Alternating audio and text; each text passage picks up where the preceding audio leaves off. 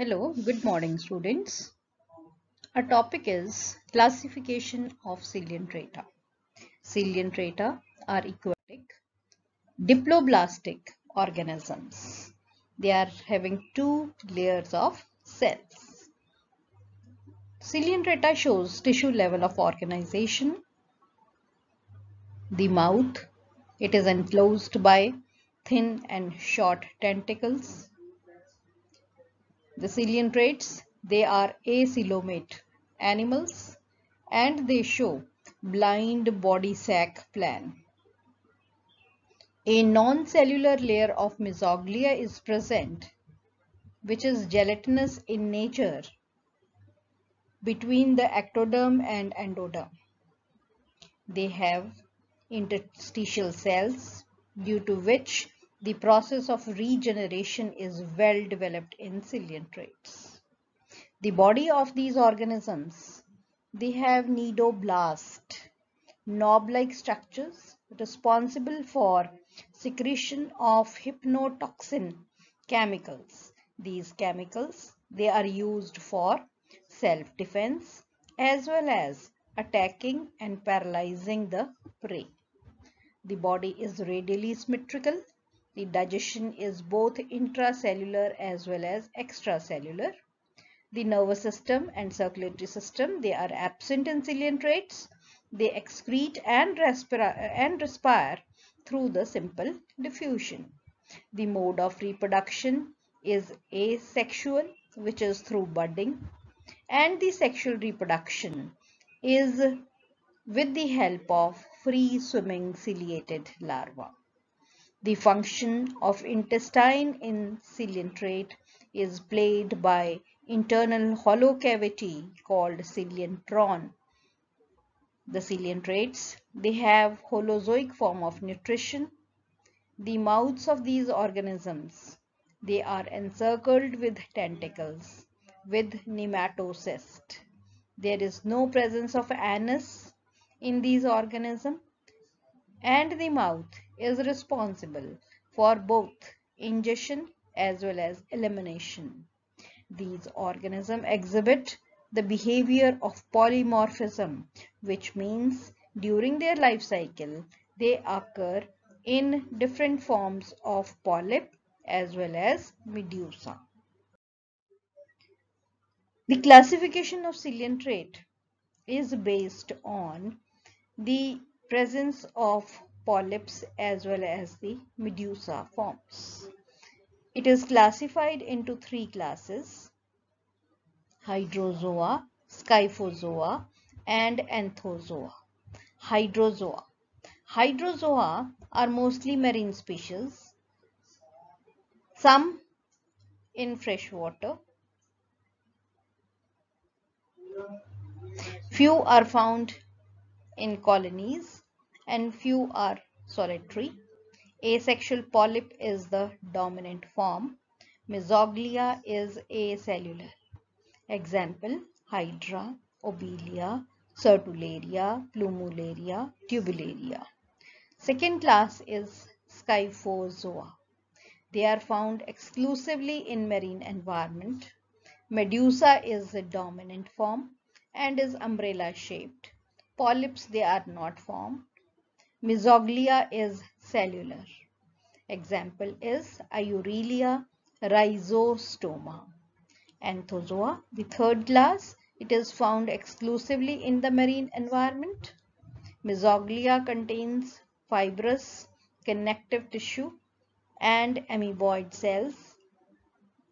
And the medusa, they are not present. Example, Metridium. So in this way, the three classes, they are formed in coelenterate, Hydrozoa, Scyphozoa and Anthozoa.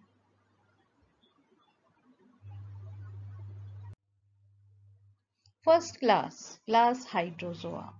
Class Hydrozoa is divided into different orders. First order is Hydroida. In Hydroida, we have got the examples of Hydra, Tubularia, Bougainvillea, Obelia, Plumularia and Sertularia. Second order is Hydrocorallina. Here Millepora is present. The third order is Siphonophora. Here Physalia is present. And the fourth order is Chondrophora.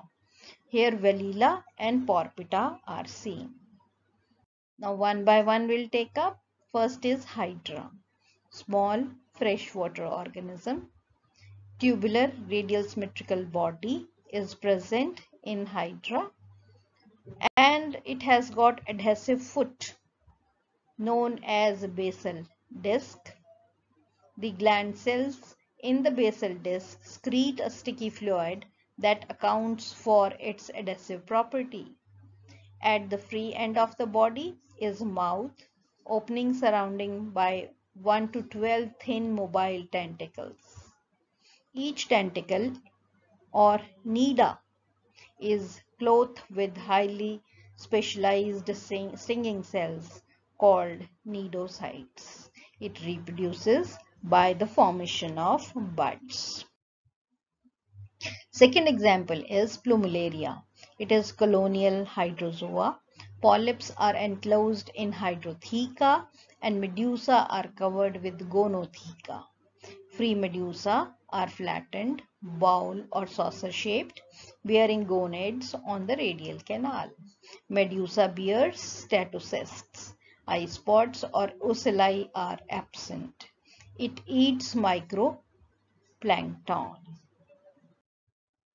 Third example is Sertularia. Again, it is a colonial hydrozoid. It is delicate, branching hydroid having small sessile hydrotheca arranged bilaterally along the sides of the branches. The colony is found attached to seaweeds and is attached to the creeping hydrorhizae. The colony produces luminescence. The hydrotheca and gonotheca are sessile and arise from internodes. The polyps may be retracted completely or protruding outside. The polyps they are enclosed by hydrotheca and medusa they are encircled by gonotheca. The opening that is mouth of hydrotheca and gonotheca are covered by paired operculums. The hydrocollis differentiated into nodes and internodes. Next example is Obelia. It is the marine, colonial and arborescent animal found attached to submerged objects like rocks and weeds. All the individuals in the colony are attached through the branches to the horizontal hydrorhiza. The branches they are known as hydrocolli. Each branch bears three types of zooids that is polyps, the medusa and the blastostyle thus making it polymorphic. The polyps has vase-like or bell-like body enclosed in the cup-like hydrotheca.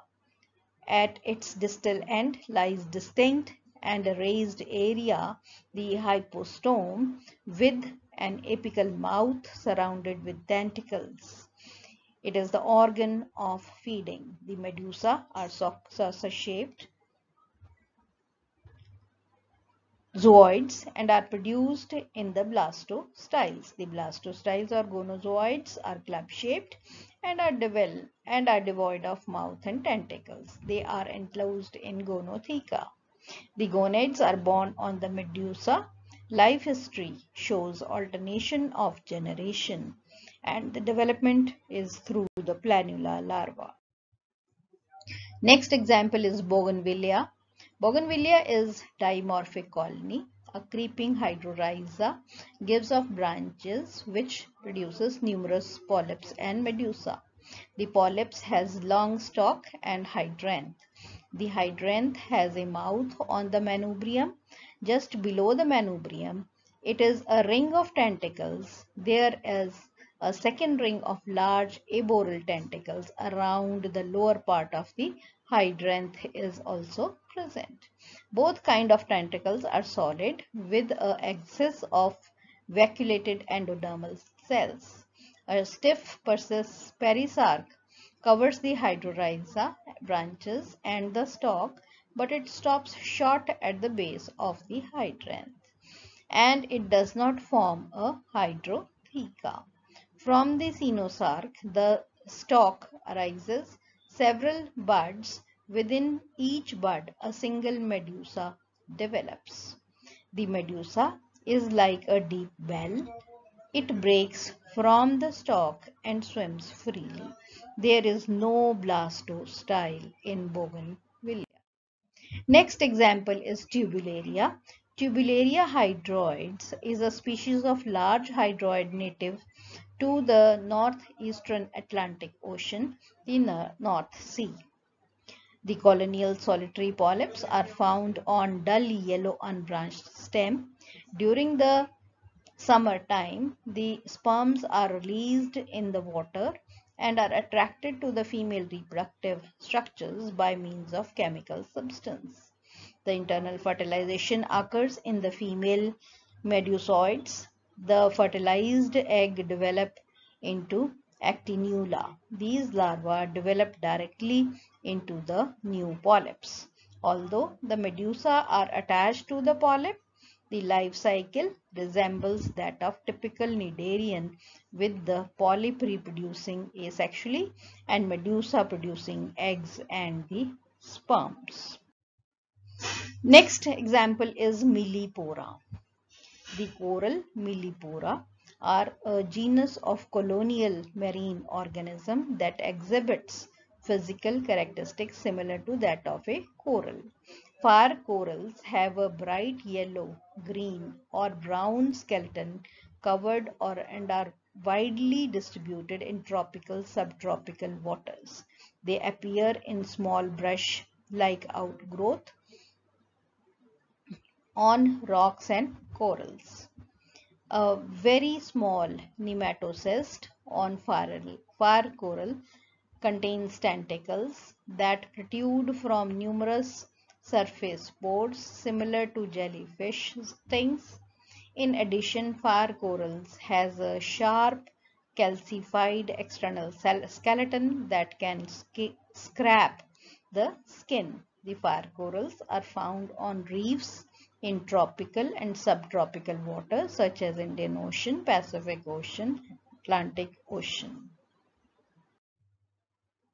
Next example is Portuguese man of war that is Physalia. It is found in Atlantic Ocean and Indian Ocean. It has numerous venomous microscopic nematocysts which delivers a painful sting powerful enough to kill a fish and has been known to occasionally kill the humans. The name man of war comes from the man of war, an 18th century sailing warship, and the animals resemble to Portuguese version of full sail. There is a large gas-filled pneumatophore formed by several medusoids it floats above the surface. It contains gas glands which produce a gas having 90% nitrogen, 9% oxygen and 1% argon. As many as several different kinds of zooids have been described in Man of War. Three of the medusoid forms that is gonophores, nectophores and vestigial nectophores they are present and four of polypoid types that is free gastrozooids, tentacle bearing zooids, gonozoids and gonopalpons. They are present. The Portuguese man of war is carnivorous. Using its venomous tentacle, a man of war traps and paralyzes its prey while reeling it inwards to the digestive polyps. Next example is Velella. Velella is polymorphic colony which looks like a single medusa. It has rhomboidal body on whose upper surface is a oblique sail. Dorsally, there is pneumatophore like a chitinous chambered disc which contains air and chambers communicate with the exterior. From the middle of the body hangs a single large gastrozooid having a mouth. All around the gastrozooid are numerous gonozoids or blastocysts, each having a mouth that produce free swimming medusa. On the margins of body is a circle of long tentacle-like dactylozoids having nematocysts. The velella is found along the southern Atlantic coast where the colony is carried about by the wind. Next example is Porpita. Porpita is polymorphic colony allied closely to Velella. The colony resembles Medusa. It has large disc-like body with chitinous chambered pneumatophore containing air. Each chamber communicate with the exterior by two pores. From the body hangs a single gastrozoid, numerous tubular gonozoids or blastostyles bearing medusa and many long marginal dactylozoids with nematocyst. The body has ramifying canals, some opens into the pneumatophores, by, uh, while other they communicate with the enteron of the zooids. Now coming to the second class that is the class Scyphozoa. It has got two orders. First order is Semaeostomeae and second order is rhizostomy. In the example of Semaeostomeae is Aurelia whereas the example of rhizostomy is rhizostoma.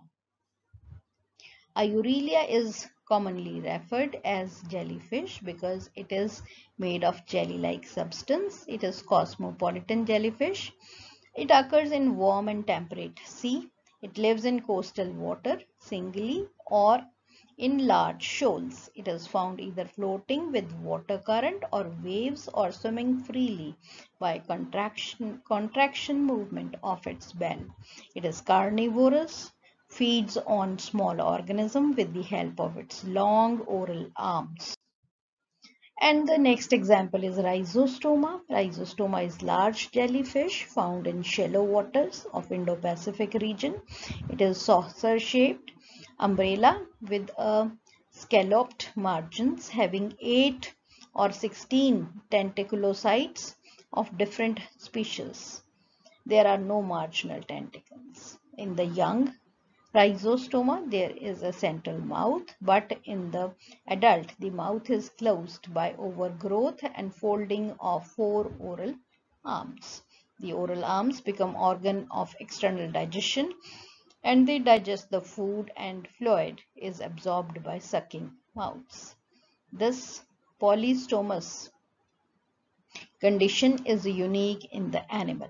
The oral arms are bifurcated distally to form eight long club-shaped terminal appendages. The tentacles lie only on oral arms in two groups. They look like filamentous roots and bear nematocyst. So this is regarding the rhizostoma. So these are the two